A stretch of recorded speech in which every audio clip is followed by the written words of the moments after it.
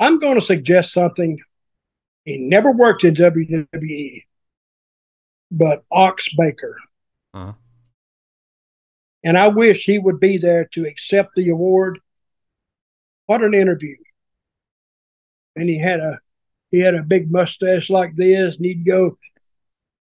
I, I, when I broke in, he was there, and he would clap his hands, and he would do his interviews, and very, very entertaining promo.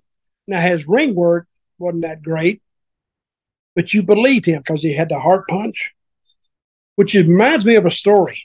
Mm-hmm. I started in Georgia, one, and we used to run Savannah, Georgia, every Friday night, which was a long trip from Atlanta. It was like 260 miles. Now it was all interstate, but still 260 miles is still 260 miles.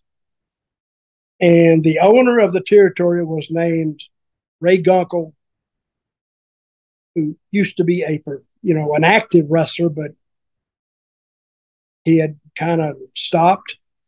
And they put him on a card in Savannah against Ox, and only because Ray was down there on vacation. Like Savannah's on the, it's on the ocean, and you go down there and you know vacation for three or four or five days.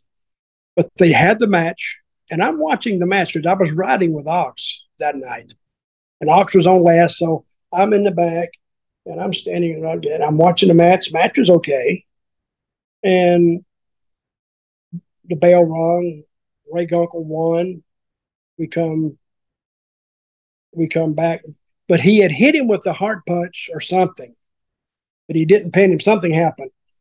So we went to the dressing rooms, and right before we left, a referee came in the dressing room and they said, Ray Gunkel just died. What? They said, yeah, they, they're just taking him out. Yeah, he's dead. Now, that's a hell of a damn leaving note. And I remember that night, and you know what Ox was worried about? Whether he was going to get fired for killing, for killing the owner. It, it, no, for killing the owner. now it's not funny, and I don't mean to laugh about that, but that's that's what he was kind of worried about. But and that helped his reputation because he had hit another guy with the heart punch, uh, one of the Torres brothers, mm-hmm. and killed him. So that heart punch, all of a sudden, this is when people kind of kind of believed wrestling was only up and up. And so when he pulled out that heart punch and he got it ready, that crowd would come up. But interesting, we, we went 260 miles that night and I was asking Ox, did you hit him? I was even believing it. Did you even hit him? He said, No, no, man, I didn't touch him. but he still thought uh, he was going to get fired, even though he didn't touch him. But he did. He did think he was going to get fired. He he really did. But and that started a whole flurry of things. When Ray Gunkel died, we'll we'll, we'll start this story another time. We don't have time now. Hmm. But Ann Gunkel was Ray Gunkel's wife.